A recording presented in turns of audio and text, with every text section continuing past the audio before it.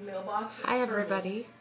This is chapter three. What are jo what are jeans? I was just about to say what are Jordans. Jordan was just talking to me. What are jeans? And this is level FG.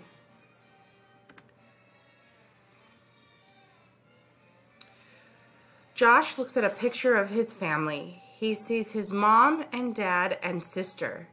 Josh and Claire look like their parents.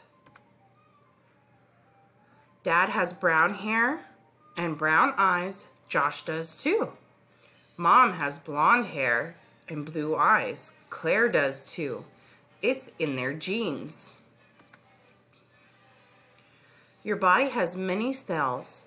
Each cell has a job to do. DNA is in each cell.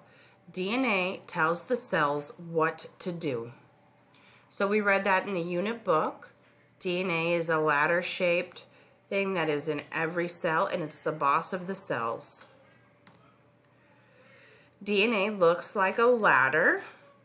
Each rung of the ladder has information. The rungs make up the genes.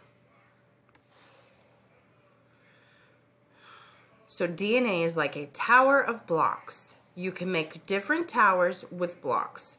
Each tower will look a little different. This is just like genes.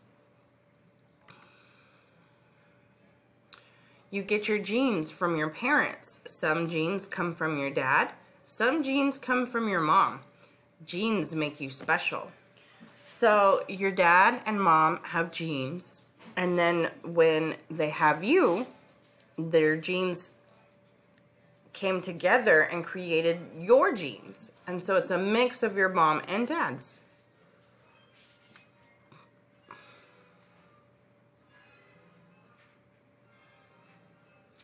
Genes make your hair color. Genes make your eye color. Genes tell you if you're tall or short. Josh has a gene for brown hair. Dad has a gene for brown hair. Claire has a gene for blonde hair. Mom has a gene for blonde hair.